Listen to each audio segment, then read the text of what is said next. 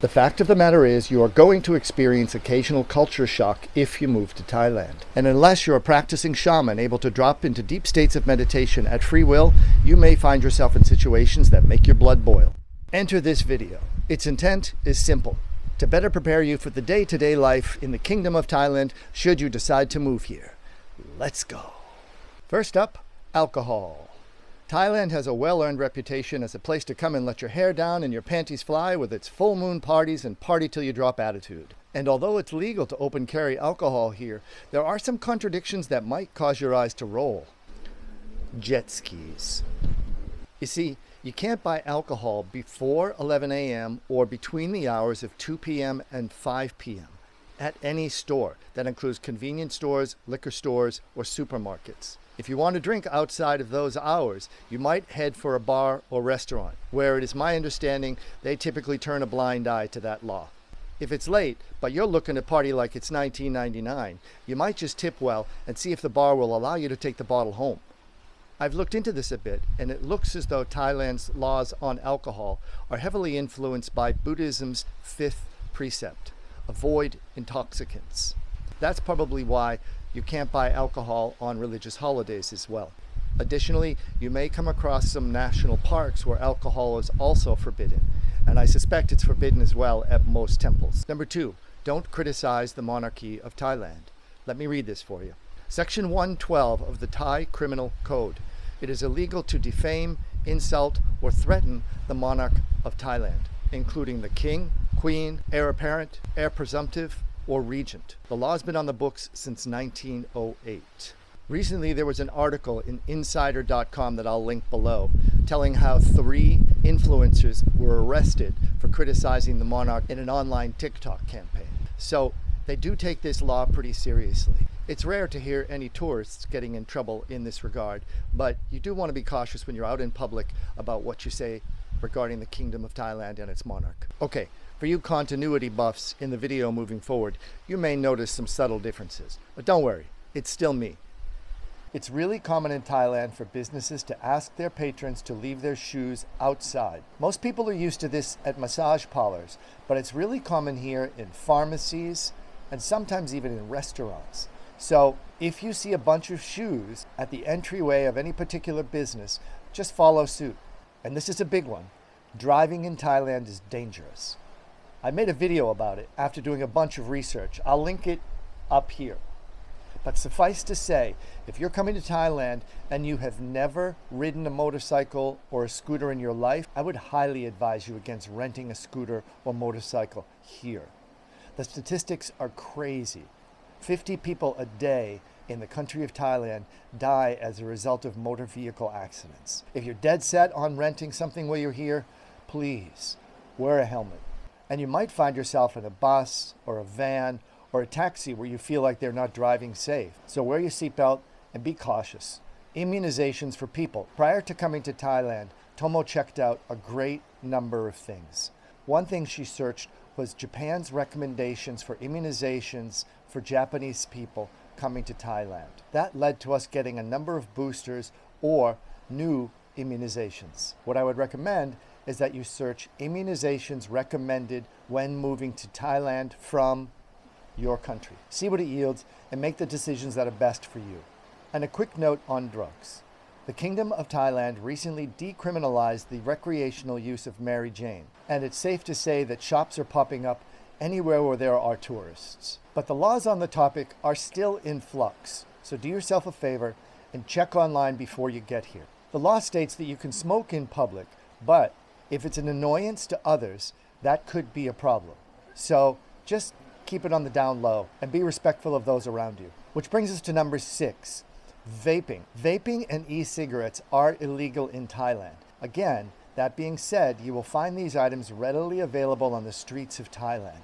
It doesn't mean it's legal. And as a foreigner, the fact of the matter is we stick out more than the locals to the cops. So if you're going to vape, be really careful as it is illegal. I would not carry any e-cigarette or vaping materials in your luggage. That makes for a nice segue to the decoy wallet. If you find yourself in the uncomfortable position with a local policeman, you may find that you have the opportunity to pay the fine there and then.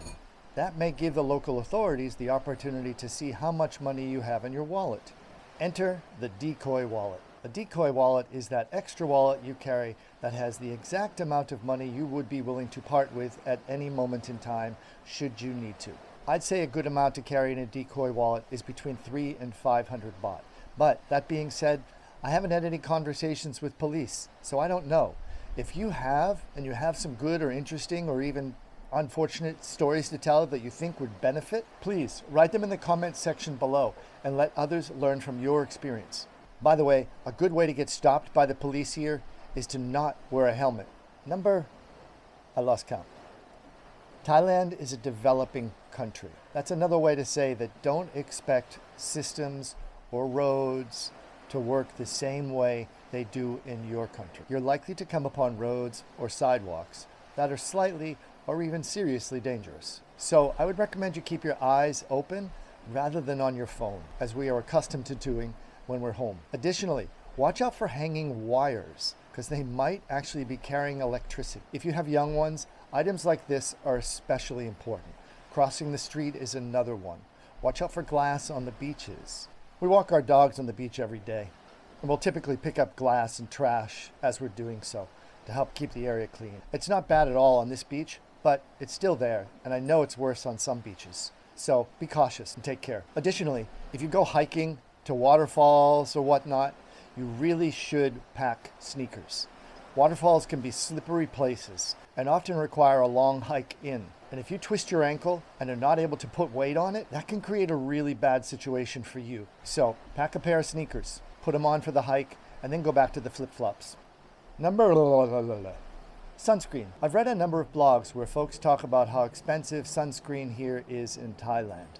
You need to be aware that there are four chemicals commonly used in sunscreen that, as of 2021, are banned from use in national parks all throughout Thailand. They are as follows oxybenzone, octinoxate, methylbenzylidene camphor, and butylparaben. And yes, I practice that. The law states that violators can be fined up to 100,000 Thai baht, and that can include a lot of beaches. See, the thing is that these chemicals are harmful to coral reefs, and they're doing their best to try to protect them. Can't blame them.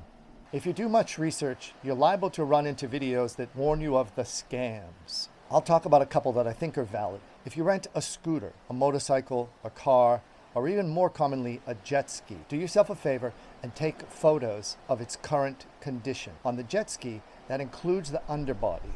The scam goes like this you return the said item, and they point out all these new scratches that are on there that they say you were responsible for. And unless you have photo evidence of them being there before the rental, they may have you. Sadly, it's a common way for them to get extra money from renters, saying you caused the minor damage. Prior to moving here, we visited Thailand numerous times and rented scooters and cars, and I'd never have experienced this, luckily.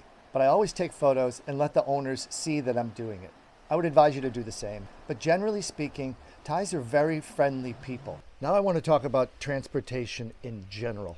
Firstly, if you're in Bangkok, take public transportation as much as you can. The trains there are reliable, clean, safe, and very reasonably priced.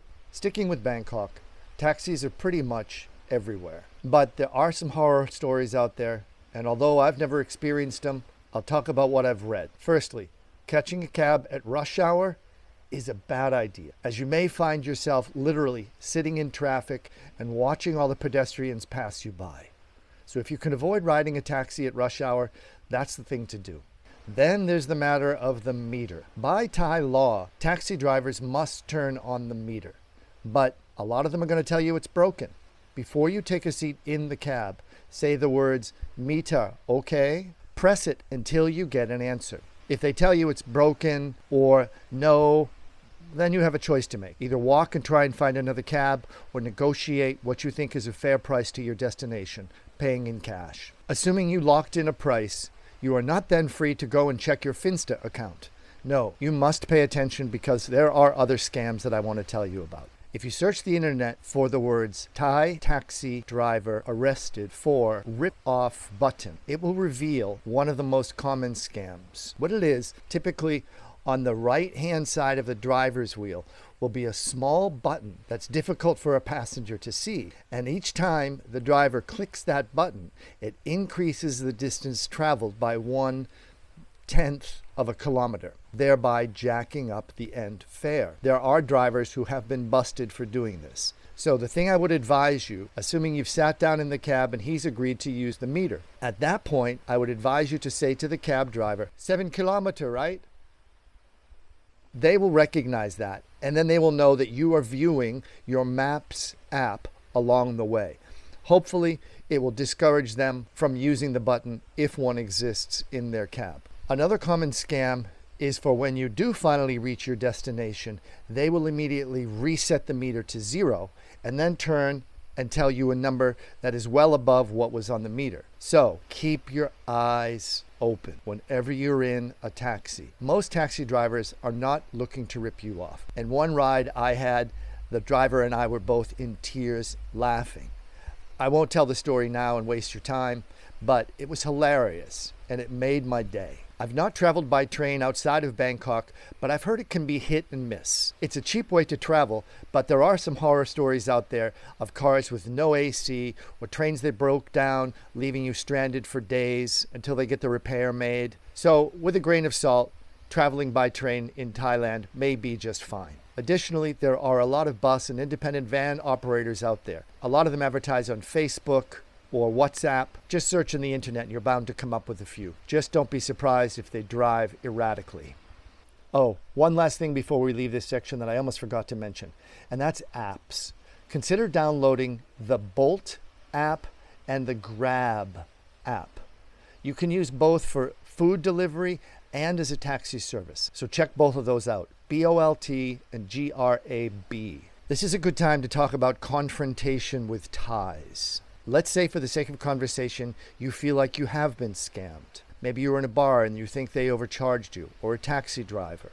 Everything I've read or seen online about getting into confrontations with Thais, every single person says the following Don't lose your temper. You have to know that the Thai police will almost always take the side of the Thai person. Could be right, could be wrong, but that is the fact. And if that happens to you, my advice to you is pay what's necessary to get you out of that situation, or potentially be prepared to spend a night in jail, even if you're in the right. Again, if you do choose to go that route, do not lose your temper. As the saying goes, the first to get angry in any argument loses. And I think that holds true in Thailand. Look at it this way it may cost you a couple of hundred extra baht to get out of a situation, but that's a heck of a lot better than spending time in jail. Just food for thought. I say this just to help keep you safe and to keep you out of trouble. If you come here, do your research first, keep your eyes and ears open, and stay safe. That brings us to our final tip laundry. There are lots of ways to get your clothes clean. If you're on vacation and have the money to spare, you can typically just ask your hotel to take care of it, pay the extra fee, and they'll be happy to do it. For more budget travelers, you will often see machines outside, right in the open. Just stop by a convenience store and make sure you pick up the detergent on your way. Heads up, they don't often have dryers at those locations. Pro tip for travelers always pack a large and sturdy trash bag in your luggage. You never know when it might come in handy. Laundry, especially so. For us, soon after we settled in Samui, we realized that there were these new laundromats that had been popping up all over the island. They're open 24 7 and during normal business hour, there's always an attendant working there. There have been times that we've gone in there and all the washing machines are occupied. We've been able to give the attendant our money, our soap, the additional money for the to start the dryer, and then walk away. Set an alarm according to the time when the washer and the dryer should be complete come back, fold the clothes. Sometimes the attendant already has them completely folded. Other times we do it together. Other times they just let us do it. When it's all said and done, we typically tip the attendant 20 or 40 baht. You're not required to do so, but why not?